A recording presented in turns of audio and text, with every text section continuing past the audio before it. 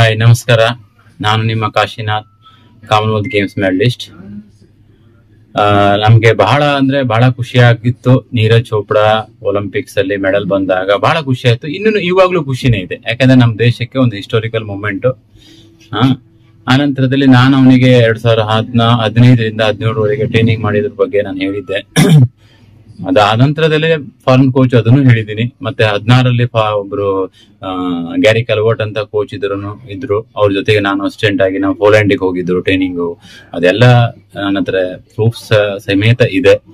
ಆ, ಆದ್ರೂ ಸಹ ನಮ್ಮ ಅಥ್ಲೆಟಿಕ್ ಪ್ರೆಸಿಡೆಂಟ್ ಅದಿಲ್ ಸುಮಾರೇವಾಲ ಏನಿದಾರಲ್ಲ ಅವ್ರೇನೋ ಹೇಳಿಕೆ ಕೊಟ್ಟಿದಾರಂತೆ ಕಾಶಿನಾಥ್ ಅಂತಾನೆ ನನ್ಗೆ ಗೊತ್ತಿಲ್ಲ ಆಮೇಲೆ ಅವರು ಇಂಡಿಯಾ ಕ್ಯಾಂಪ್ ಅಲ್ಲಿ ಕೋಚೇ ಇರ್ಲಿಲ್ಲ.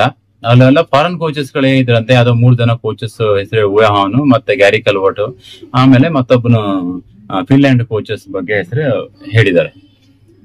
ಅಲ್ಲ, ನನಗೆ ಬಹಳ ಆಶ್ಚರ್ಯ ಆಗ್ತಿದೆ. ಅಲ್ಲ, ಇವರು ಅಥ್ಲೆಟಿಕ್ಸ್ನ ಪ್ರೆಸಿಡೆಂಟ್ ಅಂತೆ. ಅವರಿಗೆ ಕಾಮನ್ವೆಲ್ತ್ ಗೇಮ್ಸ್ ಹಿಸ್ಟ್ರಿಯಲ್ಲೇ ಫಸ್ಟ್ ಜಾಲಿನ್ ಥ್ರೋ ಮೆಡಲ್ ಆದಂತ ಅವ್ರದೇ ಹೆಸರು ಗೊತ್ತಿಲ್ಲ ಅಂತೆ.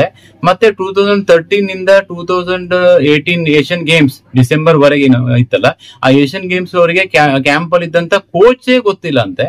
ನನಗೆ ಬಹಳ ಆಶ್ಚರ್ಯ ಅವರ ಅದೇನು ಹೇಳಿಕೆ ಕೊಟ್ರಲ್ಲ, ಅದನ್ನ ಕೇಳಿ ಬಹಳ ನೋವಾಯ್ತು ಮತ್ತೆ ಆಶ್ಚರ್ಯ ಆಯ್ತು, ನಗುನು ಬಂತು ಅದ್ರ ಜೊತೆಗೆ. ಯಾಕಂದ್ರೆ ಇವರು ಎಲ್ಲಿ ಯಾವ ಪ್ರೆಸಿಡೆಂಟ್ ಅಂತ ನಾನು ಅರ್ಥ ಇಲ್ಲ. ಅಥ್ಲೆಟಿಕ್ ಪ್ರೆಸಿಡೆಂಟಾ ಇಲ್ಲ ಹೊರದೇಶದ ಯಾವ್ದು ಪ್ರೆಸಿಡೆಂಟಾ ಒಂದು ಅರ್ಥ ಆಗ್ತಿಲ್ಲ. ಯಾಕಂದ್ರೆ ಇವರಿಗೆ ಅಷ್ಟು ಗೊತ್ತಿಲ್ಲ ಅಂದ್ರೆ ಮತ್ತೆ ನಾನು ಏನ್ ಹೇಳ್ಬೇಕಂತಾನೆ ನನ್ನ ಹತ್ರ ತೋರಿಸ್ತಾ ಇಲ್ಲ. ಆಯ್ತಾ? ನನ್ನ ಬಗ್ಗೆ ಎಲ್ಲ ಗೊತ್ತಿದೆ. ನಾನು ಆಲ್ರೆಡಿ ಕೆಲವೊಂದು ಮೀಡಿಯಾದವರಿಗೆ ಇದ್ರ ಬಗ್ಗೆ ಹೇಳಿದ್ದೀನಿ. ಪ್ರೂಫ್ ಸಮೇತ ನಾನು ಕ್ಯಾಂಪ್ ಅಲ್ಲಿ ಕೋಚ್ ಇದ್ದಿದ್ದು ಮತ್ತೆ ನಾನು ನೀರಜ್ನಿಗೂ ಹೇಳಿದ್ದೀನಿ. ನೀರಜ್ನು ಸಹ ಹೇಳಿದಾನಕ್ಕೆ ಸರ್ ನಾವು ಡೋಂಟ್ ವರಿ ನಾನು ಹೇಳ್ತೀನಿ ಅಂತ ಹೇಳಿ. ನನಗೆ ಯಾವುದೇ ರೀತಿ ಚಿಂತೆ ಇಲ್ಲ. ಕೆಲವರಿಗೆ ಸ್ವಲ್ಪ ಡೌಟ್ ಇರ್ಬೋದು. ಹಾ ಅದನ್ನ ಆ ಡೌಟ್ ಕ್ಲಿಯರ್ ಆಗ್ಲಿಕ್ಕೆ ನಾನು ನಿಮ್ಮ ಮುಂದೆ ಇದೊಂದು ಹೇಳ್ತಾ ಇದ್ದೀನಿ. ಆದಷ್ಟು ನೀವು ಬೇಕಾದ್ರೆ ನಾನು ಯಾರು ಅನ್ನೋದ್ರ ಬಗ್ಗೆ ಗೊತ್ತಿಲ್ಲ ಆದ್ರೂ ಹೋಗಿ ಸರ್ಚ್ ಮಾಡಿ, ಗೊತ್ತಾಗುತ್ತೆ. ಹಾ ಓಕೆ ಥ್ಯಾಂಕ್ ಯು